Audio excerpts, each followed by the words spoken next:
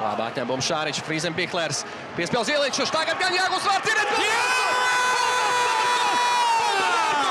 Bumba vārtos! Ilīčs šokoreiz arī pirmajā puslaikā 74. minūtē viņš to izdara un izlīdzina rezultātu. 1-1 Fiorentīna pret RFS.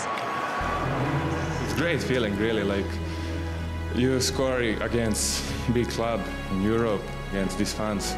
It's nice, and we didn't lose. We could maybe win if I scored this, but this is this is great. Great feeling, really. The most important thing is that we showed ourselves that we can play against big teams. We can play in Europe, and everyone thought like we are some small Latvian club, and we showed like people that we can play and Nē, nu, lai prognozētu tālāk, tad varbūt vēl mēs tur nešķiet nospēlēsim, uzvarēsim. Malači, dīvaini eksperti, kā vienmēr, savos augstumos.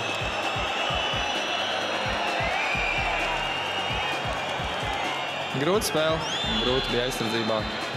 Bet eh, ļoti labi. Es, eh, man vismaz tā liekas, personīgi tikām galā ar vairākiem momentiem.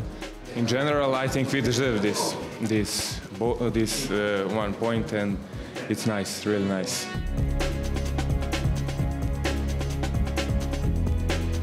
Es esmu ļoti, ļoti priecīgs par saviem spēlētājiem. Godīgi sakot, kaut kādas situācijas, momentos pat eh, redzēju, ka kvalitātes ziņā daži no viņiem izskatās kā sērijā spēlētāji.